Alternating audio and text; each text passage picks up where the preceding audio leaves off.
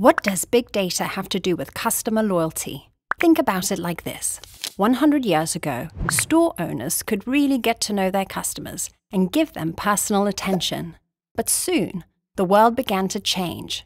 Things like urbanization, transportation, and catalogs gave customers new shopping options. The direct connection was lost, and it became more difficult to know and maintain a clear picture of the customer. Some loyalty programs made huge strides in overcoming that gap and regaining a deeper understanding. But then the digital age brought a new wave of change, which provided customers with even more ways to explore and purchase new products, and introduced even more challenges for maintaining that clear picture of the customer and offering personalized service. But again, what does all of this have to do with big data? If you look behind each of these so called challenges, you'll find a sea of data everything from GPS information on driving routes to social network interactions, to what types of media they prefer, to local weather patterns, to the reviews they read and products they buy online.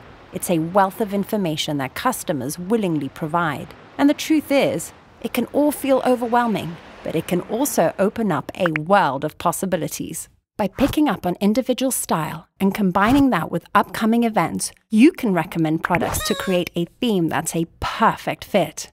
Or you can discover favorite foods, anticipate the forecast, and make personalized suggestions on a great weekend menu.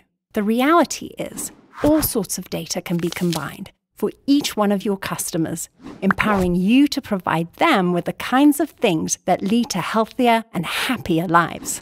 The right approach to big data analysis can help bring all of this together in the right way, transforming what was an obstacle into an opportunity to re-establish a strong connection and the crystal clear picture that was lost long ago.